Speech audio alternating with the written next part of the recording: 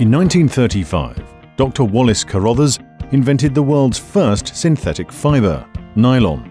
It would transform the polymers industry and enable many other innovations. Nylon revolutionized the women's hosiery segment. When nylon stockings were launched, women would line up at stores to get them. From women's hosiery to car parts seemed like a giant leap, but DuPont had a vision and recognized other opportunities for nylon.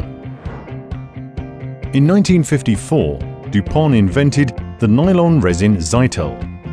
This lightweight engineering thermoplastic, which is resistant to heat and corrosive chemicals, started DuPont's performance polymers portfolio.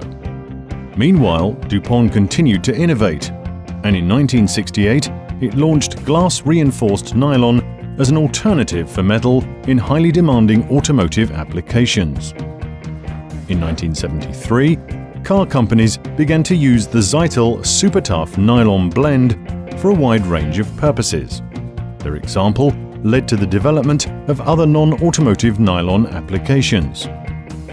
Nearly 20 years later, General Motors was the first in the world to switch from metal to Zytel for an engine air intake manifold. With the introduction of Zytel HTN PPA in 1994, DuPont delivered the ideal grade for underhood components and systems, bridging the performance gap between standard and specialty grades.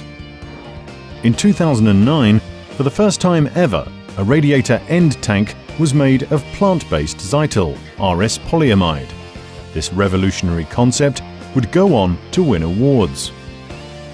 Launched a year later, Zytel Plus pushed the boundaries of nylon, delivering extreme resistance to hot oil, hot air, calcium chloride, and other aggressive automotive chemicals. True to its spirit of sustainable development, DuPont will continue to innovate new high-performance polymers.